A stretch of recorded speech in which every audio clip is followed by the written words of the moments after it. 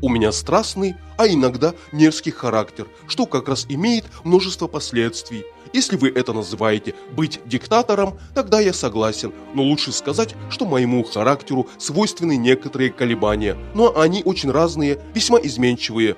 Что правда, то правда, я суров с окружающими меня людьми, с теми, кто работает со мной, но могу сказать, что столь же суров к самому себе. Это не извинение, но все равно смягчающее вину обстоятельства. Мне хочется, чтобы все в работе определялось профессионализмом. Это стало быть не каприз, как и не попытка доставить себе удовольствие. Я главным образом люблю свою работу и стараюсь делать ее как можно лучше. Не всем моим коллегам удалось произвести на меня впечатление, но некоторым актерам это удалось. Это Жан Габен, например, Ширли Маклейн или Барт Ланкастер, но вовсе не потому, что у них уже было имя. На меня производили впечатление и маленькие, незнакомые актеры. Габен произвел на меня впечатление не потому, что был Габеном, а Барт Ланкастер знаменитым Ланкастером. По-настоящему это случилось тогда, когда я играл с ними вместе и когда убедился, что рядом с ними все становилось иначе. Помнится, мне случалось во время съемки остановиться. Я переставал играть. Настолько оказывался под впечатлением от Габена.